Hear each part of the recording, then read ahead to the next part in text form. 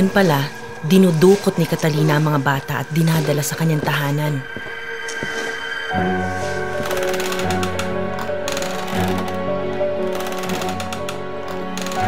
Doon, sinisip-sip ni Catalina ang lakas ng mga bata hanggang sa pumanaw sila. Nang malaman ng taong bayan, sila mismo ang sumugod sa mansyon upang mawaksi si Catalina. Subalit kahit patay na si Catalina, patuloy pa rin daw ang pagdukot niya ng mga tao upang sipsipin ang kanilang lakas. Naghihiganti sa inyo si Catalina dahil sinaktan niyong kaisa-isang taong pinagkukuhanan niya ng lakas. Si Luna? Sandali lang ho. ah. Hindi ko maintindihan. Nabanggit ni Quintin na bata pa lang si Luna nung kupkupin. Dukutin. Nung dukutin ng kaluluwa ni Catalina si Luna. Pero, bakit nanatili siyang buhay hanggang ngayon? Bakit di pa siya patay tulad ng mga batang dinukot niya noon? Dahil imbis na minsanan kuhanan lakas, inalagaan niyo to. Para ano? Para pa unti-unting kunin yung lakas ni Luna habang buhay pa siya? Parang halamang namumunga. Inaalagaan muna bago pitasan ng bunga kapag oras ng kumain. Hindi halaman si Luna. Jean, pwede niyo ba akong dalhin kung saan niyo natagpuan si Luna? Sa loob ng gusaling ito, una namin nakita si Luna. Sige, salamat. Maaari na kayong mauna. Hindi. Sasamahan ka namin. Jean, Hindi matatahimik si Catalina hanggat hindi naayos yung gulong to. Ano naman ang laban natin sa isang multong mangkukulam? Wala. Pero pwede nating tulungan si Quintin. Hindi ba? Fine. Basta huwag tayo magpapagabi ah. Dalawang oras na lang, lulubog na yung araw.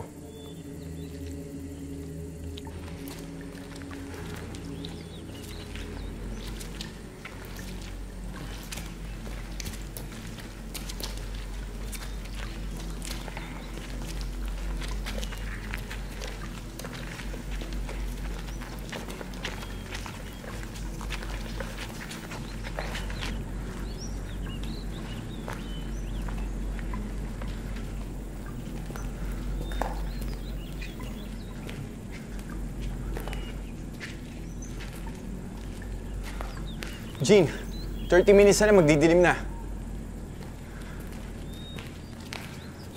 Sherwin, nakita mo si Luna?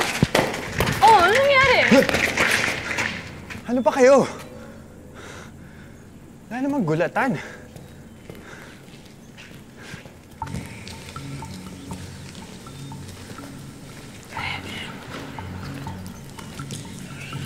Sherwin! Sherwin!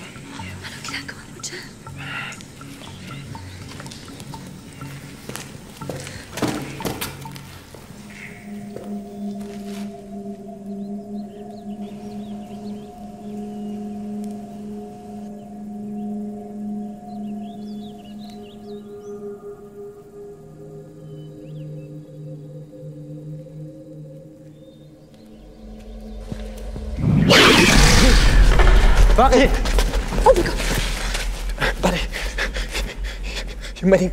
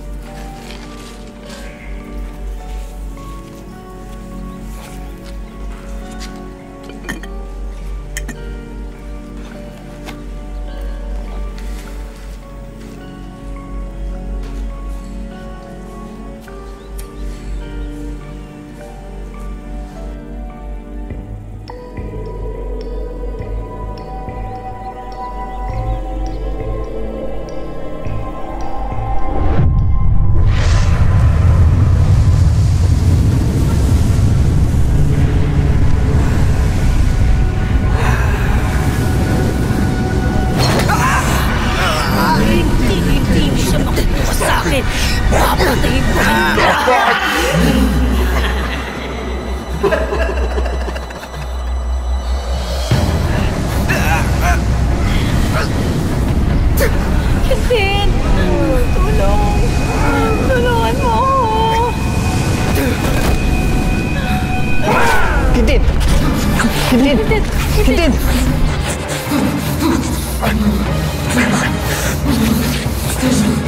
Quintin! Quintin! Quintin! Come on! Come on! Come on! Come on! Quintin! Quintin! Kitin! Kitin, gumising ka! Quintin! Quintin! Quintin! Quintin! Luna!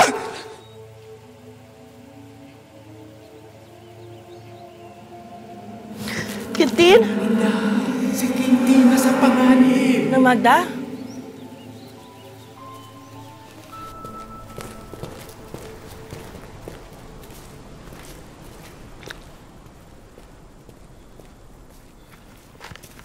Nandiyan ba? Wala. Wala.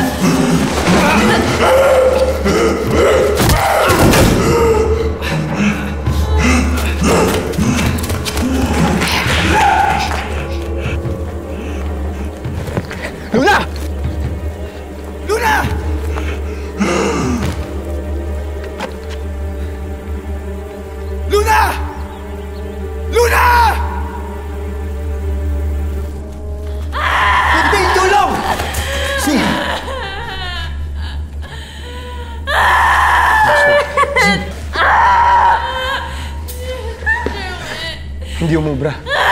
Mukhang malakas yung usog ni Catalina. Ano ang gagawin natin? Ito, Jean, suotin mo. Pangontra lang yan. Hindi yan panggamot. Kung, kung, kung halikan ko kaya siya. di ba hindi kayo magkasintahan? Shit.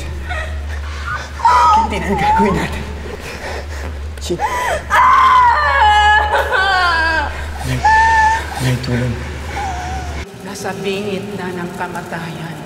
Ang dalagang kasama ni Quintin, dala ng usog ni Catalina. Nang Magda, ano po bang pwede kong gawin? Kung kaya mang usog ng mga mangkukulam mula sa malayo. Kaya ring manggamot ng mga albularyo mula sa malayo. Pero nang Magda, hindi po kaya nakapangyarihan kong gumamot sa malayo.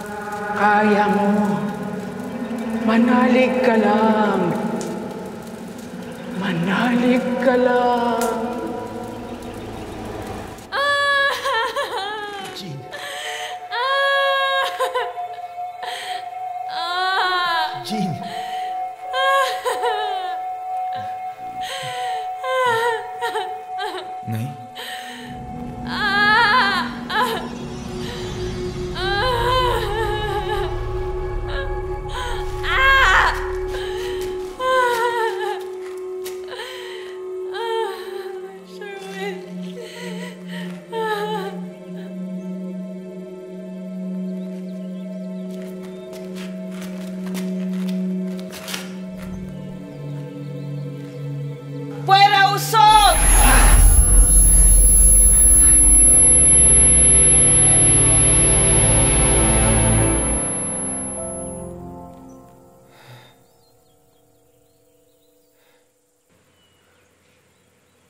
Jean? Jean? Jean? Jean? Jean? Okay ka na? Okay na siya.